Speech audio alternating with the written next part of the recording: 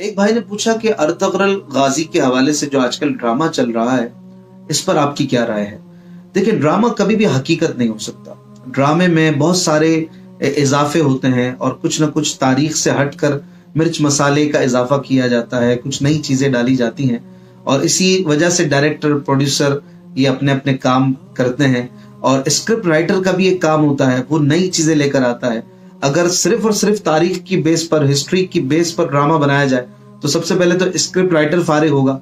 बात यह है कि ड्रामे और फ़िल्में जो होती हैं, वो कभी भी कौमों की तामीर नहीं करती हैं। और खासकर जब उसमें अल्लाह रसूल की नाफरमानियाँ दिखाई जाएँ, अजनबी मर्द औरत को मियाँ बीवी के किरदार में दिखाया जाए, उसमें म्यूज़िक चल रहा हो, औरतें दिखाई जा रही हो, बेपर्दगी हो तो वो किस तरह किसी कौम की तामीर करेगी? और फिर ऐसे ड्रामे को मुकद्दस कहना ये कभी भी उलमा सुलहा इसको तस्लीम नहीं करेंगे। अगर तारीख के किसी ऐसे किरदार को आप अच्छे अंदाज में पेंट करना चाहते हैं तो उसके लिए अखबार हैं, तहरीरात हैं, किताबें हैं ड्रामे बनाना। अगर आप उस पर अच्छे अंदाज में वीडियोस बनाना भी चाहते हैं तो शरीयत के मुताबिक उसको बनाएँ। अगर आप उसमें खिलाफ कानून शरीयत चीज़ें लाएँगे म्यूज़िक लाएँगे, औरतें लाएँगे, इस तरह की चीज़ें होंगी तो जो नई जनरेशन है, जो इसको देखेगी, वो इन चीज़ों को सही भी समझेगी और इनमें मौजूद फितनों में पड़ भी जाएगी।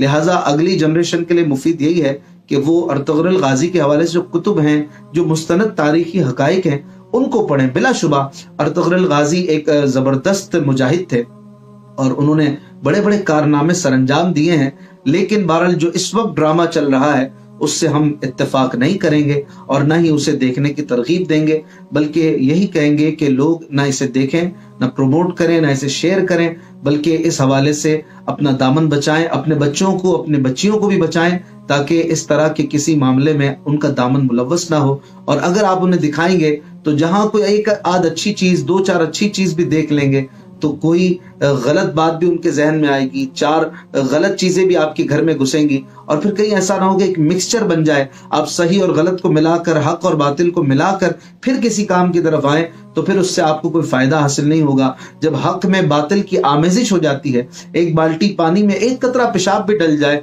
तो वो बाल्टी भी काम की नहीं रहती है, वो बाल्टी भी वज़ू और गसल के लायक नहीं रहती है।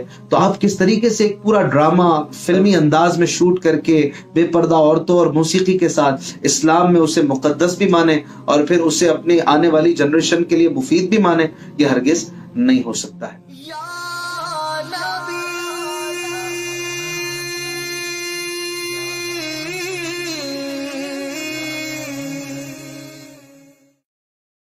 किसी कहानी को ड्रामे की शक्ल में ढालने वाले अच्छी तरह जानते हैं कि बेनी ही अगर उसको ढाला जाएगा तो वो चार्मिंग पैदा नहीं होती है, उसमें ड्रामे में मज़ा पैदा नहीं होता है। लिहाजा थोड़ी बहुत एडिंग अपने पास से करनी पड़ती है। जुमले बनाने पड़ते हैं, कोई मतलब तासुरात अपने पास से देने पड़ते हैं, कुछ नई चीज़ें उसमें डालनी पड़ती हैं, तब देखने वालों के लिए थोड़ी सी उसमें अट्रैक्शन पैदा होती है। तो आप क्या समझते हैं कि जो वाक़ात बुजुर्गान दीन के लिखे थे, अगर बेआनी उसे मूवीज़ की शक्ल में तब्दील कर दिया जाए मूवी बना दी जाए उसकी तो क्या वो उसमें कोई चार्मिंग नज़र आएगी? तो ज़रूरी नहीं है कि उसमें हो, बल्कि उसमें बहुत ज़्यादा एडिंग की जाती है। तो अब जो हमारे बाज़ लोग कहते हैं कि हम अपने बच्चों को असल में दिखाना चाहते हैं कि हमारा मज़हब इस्लाम क्या था। लिहाजा हरगिज़ बच्चों को ना दिखाएँ, क्योंकि उससे गलत तस्वुर बच्चों के जहन में आ जाएगा। कोई गलत बात उसमें डाल दी गई होगी, वो उसे इस्लाम का हिस्सा समझ के कबूल कर लेंगे। और फिर बाज़ात उस बात को बुनियाद बनाकर असल इस्लाम की तालीमत का इनकार कर रहे होंगे और इसके कसूरवार आप ही होंगे कि आपने बच्चों को दिखाया था।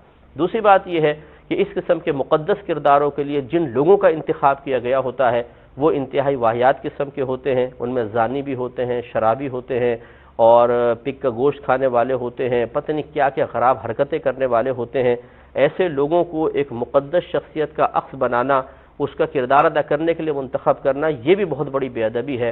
बिल्कुल यूँ समझ लें, जैसे आपके वालिद के बारे में एक ड्रामा बनाया जाए, मिसाल के तौर पर उनकी ज़िंदगी पर, और आपके वालिद का किरदार अदा करने के लिए एक ऐसे शख्स का इंतखब किया जाए, जो इलाके में चरसी मवाली के नाम से मशहूर है।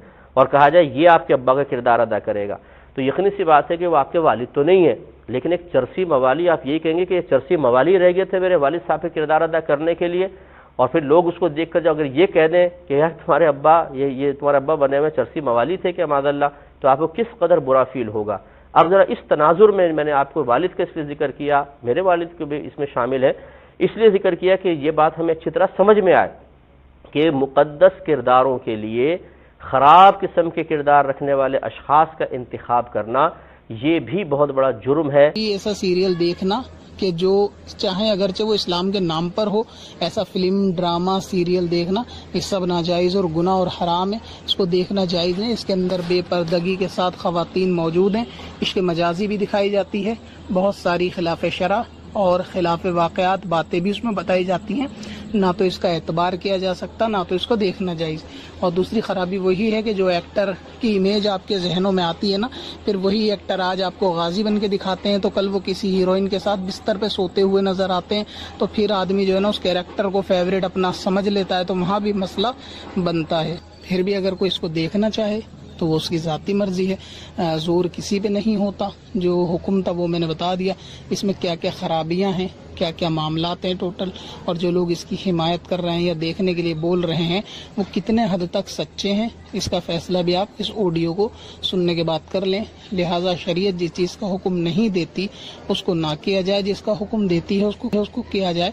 मुसलमानों को यही बात माननी चाहिए, ना कि अपनी नफ्स की पैरवी करनी चाहिए। आप देख रहे हैं Fiyaz media multi topics YouTube channel with researcher journalist social activist Muslim and the motivational speaker Muhammad Irfan Bati Rajput Atari. Where Fiyaz stand for Faizan Akhtar Hussain Bashir ये एक मल्टी टॉपिक यूट्यूब चैनल है जिसके different topics को different playlist में divide किया गया है। और बहुत जल्द और भी बहुत कुछ नया हम आपके लिए इसी चैनल पर ला रहे हैं। किसी भी पर्टिकुलर टॉपिक के रिलेटेड वीडियोस के लिए आप इस चैनल की प्लेलिस्ट में विज़िट करें। तो आगे बढ़ने से पहले हमारे साथ बने रहने के लिए और अगर आप इस चैनल पर नए हैं सब्सक्राइब पर क्लिक करें। ये बिल्कुल फ्री है। और बेल आइकन पर भी ज़रूर क्लिक करें ताकि आप हमारी हर इम्पोर्टेंट अपलोड होने वाली वीडियो को पहले देख सकें। इस वीडियो को लाइक ज़रूर करें और कमेंट सेक्शन में हमें बताएँ कि ये वीडियो आपको कैसी लगी। और हम आपके लिए क्या कुछ नया ला सकते हैं।